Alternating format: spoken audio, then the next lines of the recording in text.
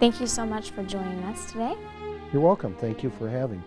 Why did you decide to run for state representative and who did you tell first when you decided?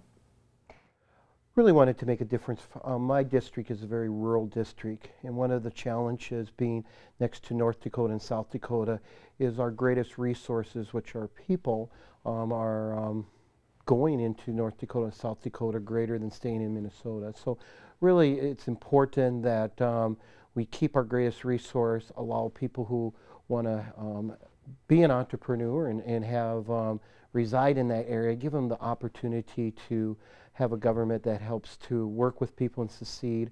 I also serve as an EMT for our community for 18 years, so senior care and health care is very important. And so I was looking to um, make a difference there, make a difference in education, concern because currently I serve on the school board.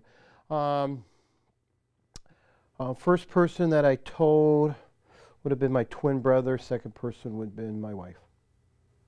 I have an identical twin. What does your twin do? Jay and I, we are, um, we run our own business together. We employ 14 people and we're an internet business.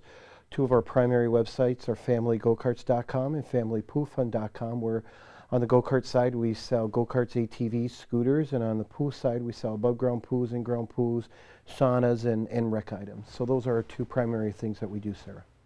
Describe what type of legislator you want to be, and how will you determine if you were that type of legislator at the end of session? I like to be a legislator that um, focuses on the issues. I'm an independent thinking person. Um, if um, a, a, certain individual um, has a good idea or party, um, instead of being so party focused, really be a legislator that looks at issues that can help rural Minnesota uh, move forward. That's my priority, um, helping rural Minnesota move forward and then the state move forward um, in that order because in the, in the past I think rural Minnesota has been um, put to the back seat. And um, I want to be remembered as a legislator that champion um, rural causes that allows greater Minnesota not just survive but thrive. And um, would be indicated with, um, with what I support and, and also feedback from the voters. What do you think is the biggest issue facing our state?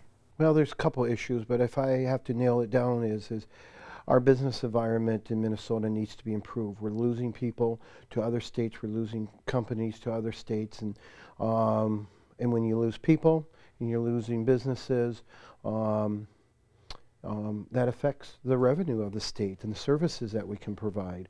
Um, and then number two would be nursing care. Um, especially in our area, we've seen a couple nursing homes close. That's sad. Our, our gener that generation built our state, and we need to take care of them. So that's that's a high priority too. What book or movie have you recently read or seen? Would you recommend, and why? Just recently, I teach release time for fifth and sixth graders in our church, and we're actually um, um, um, watching a movie right now, um, Facing the Giant. And um, the kids like it because it really shows the importance of faith in a person's life, and also that challenges are something that we can use to make ourselves stronger and better um, and so um, it's a good message. There's a lot of good messages in that movie. I've watched it several times, um, but um, yesterday we watched the first half, and next week we'll watch the second half, and, and so it's a good movie.